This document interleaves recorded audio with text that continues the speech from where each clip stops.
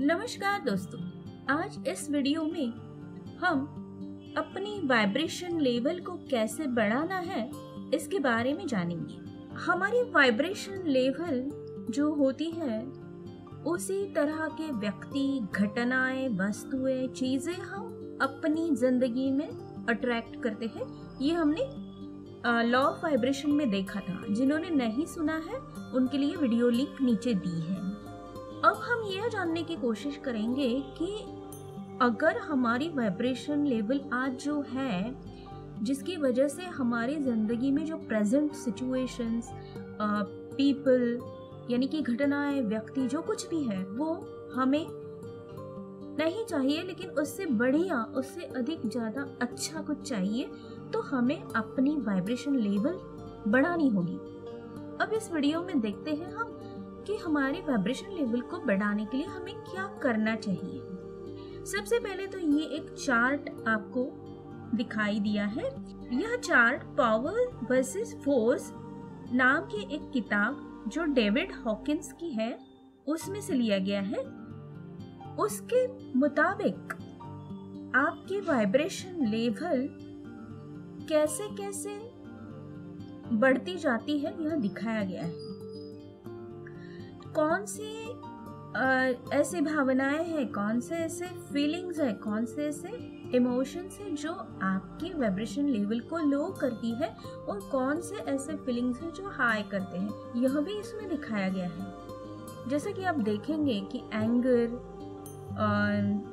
Shame guilt ये जो चीज़ें हैं, यानी कि गुस्सा शर्म अपराध बोध की भावना ये सब चीज़ें हमारे वाइब्रेशन लेवल को लो बनाती हैं। और जब वाइब्रेशन लेवल लो हो जाती है, हम उसी तरह की घटनाएँ, व्यक्ति हमारे इर्द गिर्द अट्रैक्ट करने लगते हैं। अगर हमें इसे अच्छा बनाना है, बढ़ाना है तो हमें इन सबसे ऊपर उठना होगा, हमारी वाइब्रेशन लेवल को ऊपर बढ़ाना होगा। और इसके लिए हमारे विचारों के बारे में, हमारी अवेयरनेस यानी कि हमारे विचारों में क्या चल रहा है? पॉजिटिव है या नेगेटिव है? हम किसी के ऊपर गुस्सा कर रहे हैं विचारों में?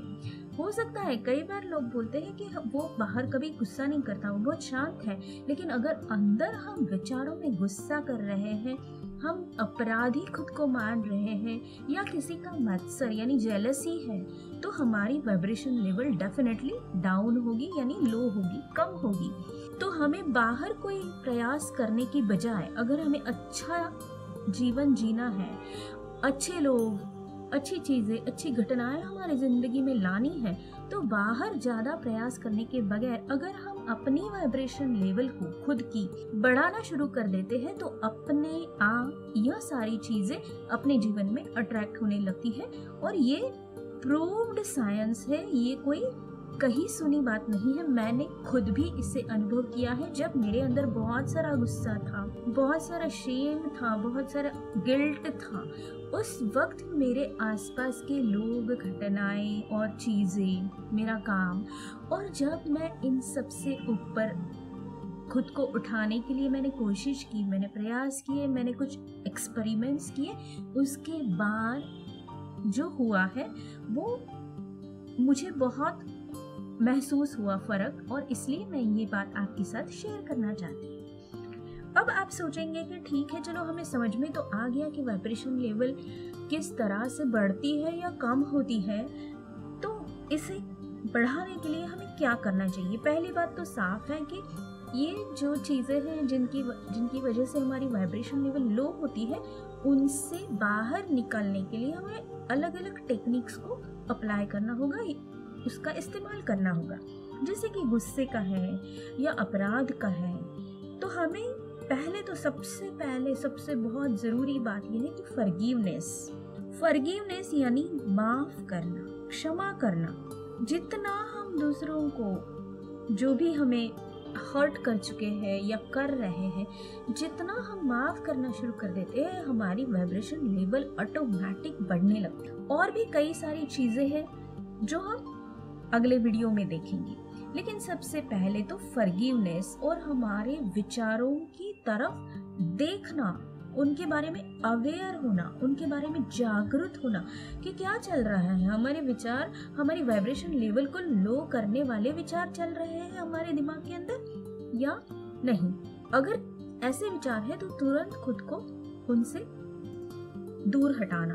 उन विचारों को अपने से दूर हटाना। फिर उसके लिए क्या करना है, ये सारी टेक्निक्स हम धीरे धीरे आगे की वीडियो में देखेंगे। लेकिन अब आपको समझ में आ गया होगा कि वाइब्रेशन लेवल को किस तरह से बढ़ाना है कौन कौन सी ऐसी बातें हैं जो उसे लो करती है या बढ़ाती है, उसे कम करती है या बढ़ाती है।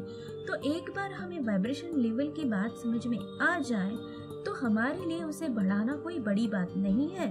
और अगली वीडियो में हम ये भी देखेंगे कि बढ़ाई हुई वाइब्रेशन लेवल को मेंटेन कैसे करना है, उसे रिटेन कैसे करना है, उसे फिर से लो कैसे नहीं होने देना है। तो आइए, आज से ही ये सारे जो इसमें लेवल्स दिखाए गए हैं, उसके बारे में अच्छी तरह से जान लीजिए, उसे देख लीजिए और फिर समझिए। जानिए कि आपकी वाइब्रेशन लेवल क्या है और अगर लो है तो वो किन वजह से है? और एक बार वजह पता चल गई तो उससे बाहर आने में ज़्यादा वक्त नहीं और आपके लिए अपराध बोध से मुक्ति फर्गिवनेस और लॉ ऑफ़ वाइब्रेशन के वीडियोस की लिंक भी नीचे दी गई है, ताकि आपको ये सारी बातें अच्छे से समझ में आ जाए। तो चलिए, देर किस बात की? हमारे वाइब्रेशन लेवल को आज से ही बढ़ाना शुरू कर देते हैं।